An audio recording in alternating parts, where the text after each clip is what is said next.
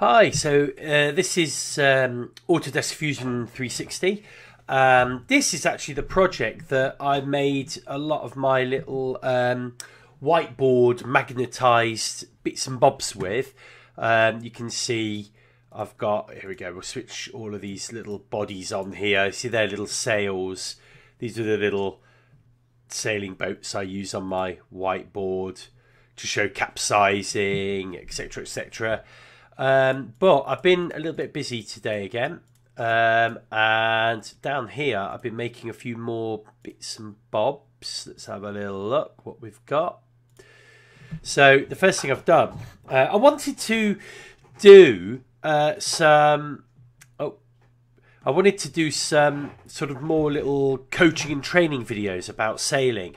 Um, and what I needed was uh, a little model boat because the top down boat's great, but I think it'd be better if we could show um, people things like on a little miniature real boat as well. You know, how to set your sails, your rudder position, things like that.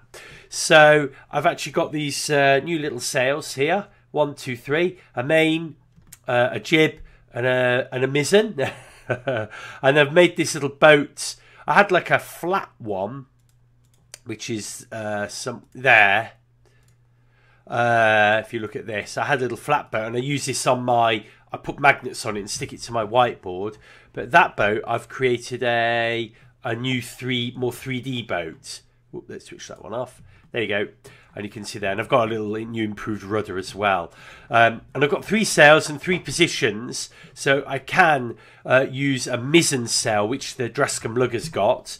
Or I can just put, you know, the main and the jib in uh, and that that will suffice. So yeah. So um, anyway, I've I'm just busy 3D printing that out right now, uh, and hopefully that'll be ready very soon.